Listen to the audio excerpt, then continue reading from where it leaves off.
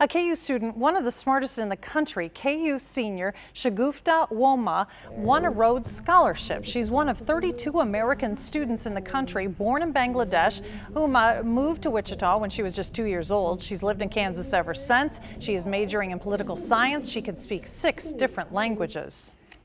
As a Muslim and an immigrant on campus, um, and someone who's really invested in social justice and activism, I've experienced a lot of backlash and um, you know had to cross a lot of hurdles uh, in order to reach the point that I am today.